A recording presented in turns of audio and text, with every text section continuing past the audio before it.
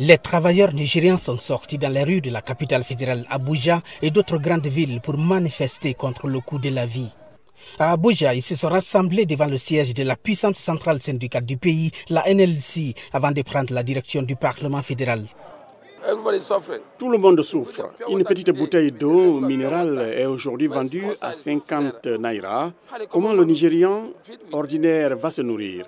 Une famille avec six enfants n'aura pas à manger. Allez au marché local et vous verrez que les gens souffrent.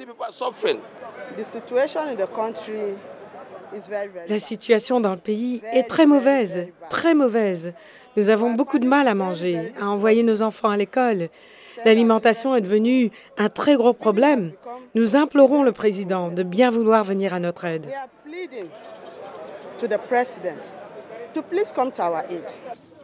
La manifestation intervient après la réunion entre le gouvernement fédéral et les dirigeants des syndicats lundi soir, mais n'a pas abouti à un accord.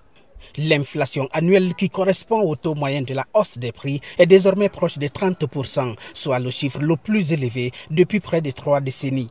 Le coût de la nourriture a augmenté à plus de 35%.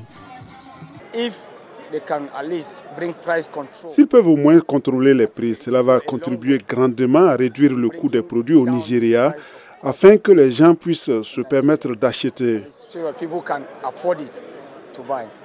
Les syndicats avaient lancé un ultimatum de 14 jours au gouvernement fédéral pour mettre en œuvre des mesures pour réduire les souffrances et les difficultés des populations ces derniers mois au Nigeria. Ce que nous demandons, c'est la bonne gouvernance. Ce que nous demandons est que le gouvernement agisse, que le gouvernement se rende compte que les Nigériens souffrent, que le gouvernement intervienne face au coût élevé de la vie, que le gouvernement intervienne concernant les salaires des travailleurs nigériens. Comme de nombreux pays, le Nigeria a connu des chocs économiques venant de l'extérieur, mais il existe aussi des problèmes spécifiques au pays, en partie dus aux réformes introduites par le président Bola Ahmed Tinubu lors de son entrée en fonction en mai dernier. Gilbert Tamba pour VO Afrique, Abuja.